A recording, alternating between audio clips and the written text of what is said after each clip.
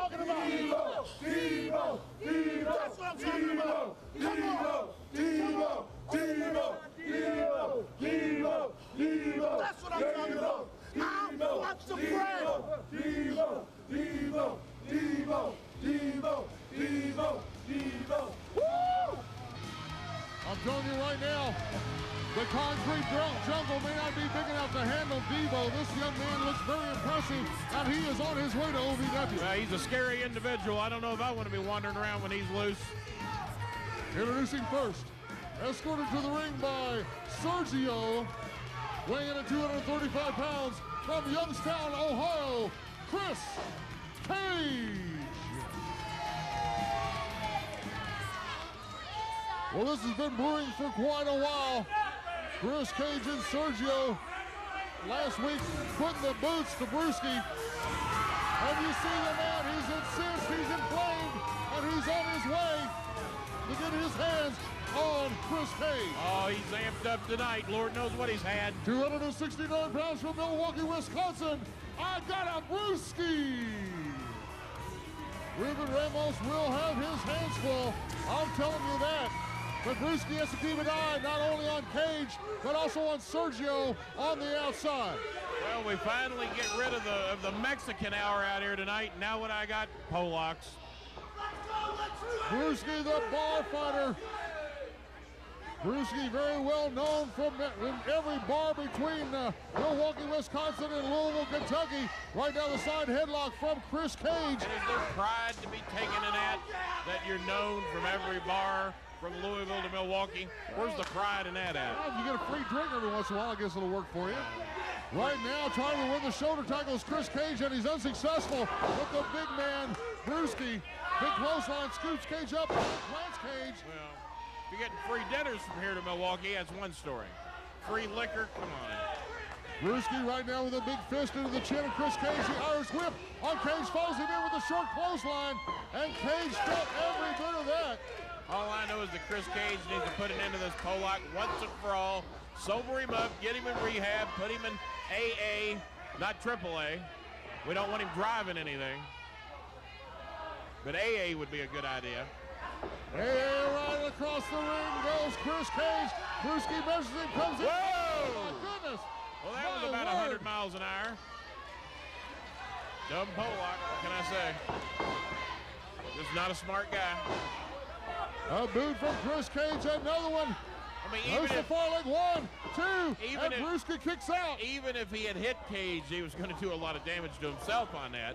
I mean, he was going, he was, he was legit going 35 miles an hour across that ring. Fueled on what? I don't know.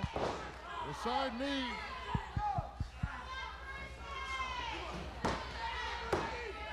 On kicks out goes Brewski.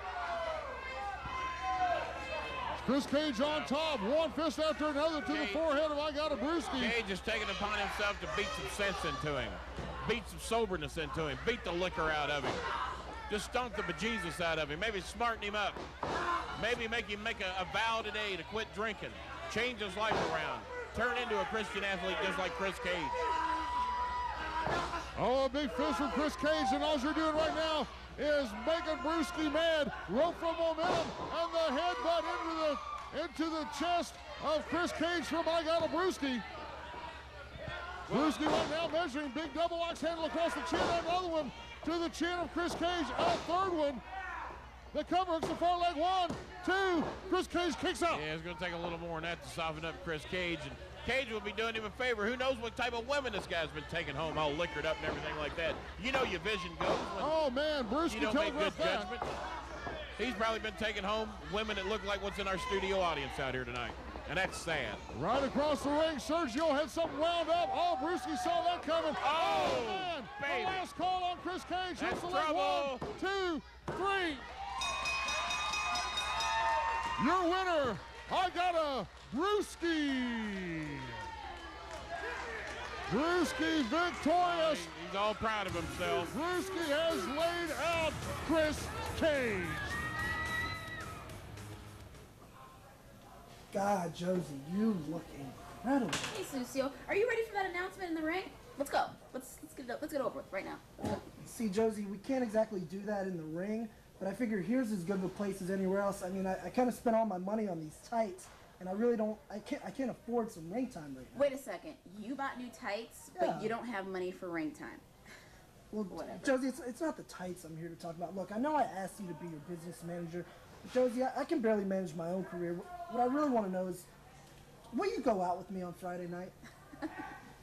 Uh, you can't even deliver on ring time, and you want to go out with me? I don't think you understand that I'm kind of a big deal around here, kind of doing big things. Uh, if you can't deliver for me professionally, what are you gonna do for me personally? Uh, and new ring tights takes a little more than that to impress me. Burn. Do for me personally. I think I still got a chance. Nice. Well, ladies and gentlemen, this is what it's all about. Sucio, obviously, week after week, he just wanted a date. Let me explain something to you. I can tell by the twinkle in her eye, this thing ain't over yet. She's just playing a little hard to get. Wants him to play the game. He can get her. She can be had. Up next, heavyweight champion Anthony Bravado. Don't go away. Rudy Switchblade, Los Locos. You guys think November 1st, Campbellsville, Kentucky, you're gonna take out Jamin Olivencia, APOC, and Alvaron? Well, guess what? You got another thing coming.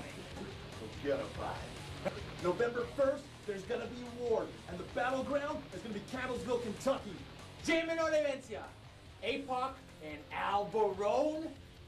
we step in the ring, it's gonna be all about East Side LA and those Locos all day.